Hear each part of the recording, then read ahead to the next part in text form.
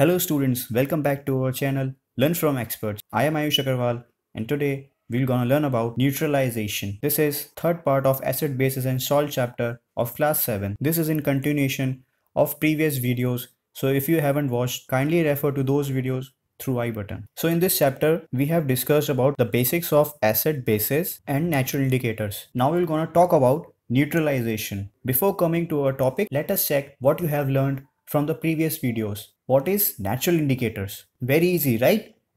So the answer is indicators determines whether a solution is acidic or basic. Alright, moving to the next question. How acids are identified through litmus paper? Have you answered? Acid turns blue litmus paper into red. And how base is identified? Just opposite to acids, right?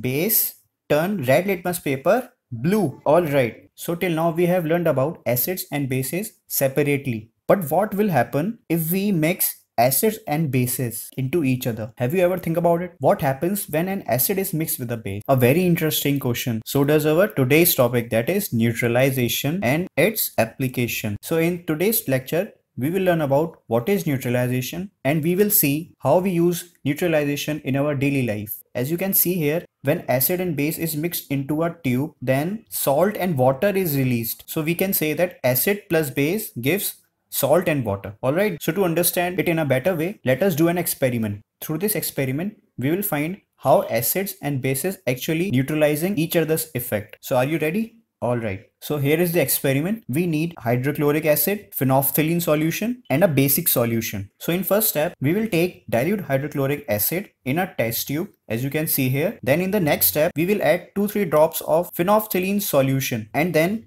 we will shake the test tube gently. Do you observe any change in the color of the acid in the last step? No, it is colorless. There is no change in the color. Alright, so note this outcome. Moving forward, we will continue our experiment. Now what will we do? We will add sodium hydroxide solution that is a basic solution into a given test tube and then we will stir the tube gently. So is there any change in the color of the solution in the last step? Yes, of course. It is now light pink color when we added basic solution into a acidic and phenolphthalein solution, right? So note this outcome. Now what we will do, we will again add HCl in it and then stir the tube gently. Now what color is appearing in the last step? There is no color. It is again colorless. So what we have discussed during this experiment, then when we add acidic solution into a phenolphthalein solution, no color appears. But when we add basic solution into acidic and phenolphthalein solution, light pink color appears. And while again adding HCl acid into a test tube, the color again disappears. So can you guess why is it so happening? Why pink color is disappearing and again appearing? So the answer is neutralization process. In neutralization process, when an acidic solution is mixed with a basic solution, both the solutions neutralize the effect of each other. A very classic example is given here HCl plus NaOH. HCl is acid and NaOH is base. When we add hydrochloric acid and sodium hydroxide, the products we will get is NaCl, sodium chloride that is salt plus water H2O. Is it all clear to you? Any doubts? Very good. So neutralization can be defined as follows. The reaction between an acid and a base is known as neutralization. Alright. And the important point is salt and water are produced in this process with the evolution of heat.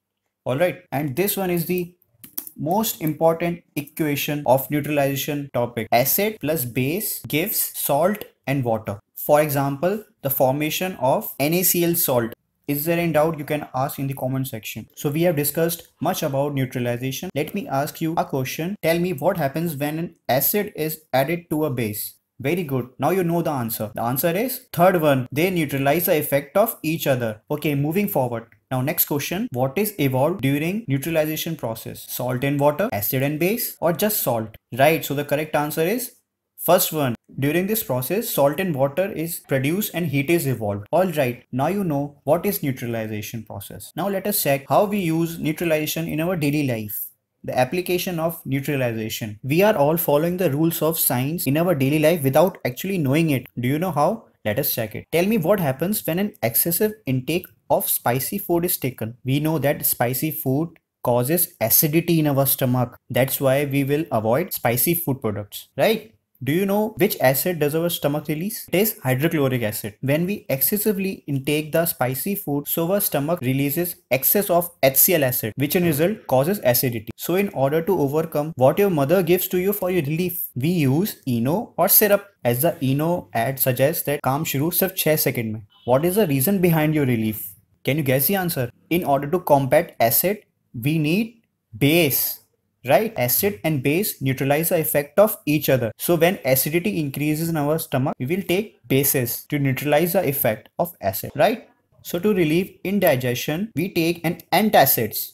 Bases are also called antacids such as milk of magnesia which contains magnesium hydroxide that is base right? It neutralizes the effect of excessive acid. So it is suggested that use green vegetable foods in your diet because it contains alkaline which is good for your health and also reduces the chance of acidity. So next time when you have acidity, you know what to do. Let us check another application of neutralization. Tell me how do you feel when ant bites you? Have you ever came through this situation? Because when an ant bites, it injects formic acid. As we have discussed in the previous video, when mosquito bites you, it is actually releasing acid in your body. And the name of such acid is formic acid then how can you neutralize the effect of acid? Through base, right? We will rub baking soda on the affected part to neutralize the effect of ant bite. This is actually the power of science. It not only educates you but also helps you how to combat problems in life. Alright, let us discuss one more application of neutralization that is soil treatment. Do you know excessive use of chemical fertilizers makes the soil acidic and in this condition plants do not grow well when the soil is either too acidic or too basic. Therefore, we add quicklime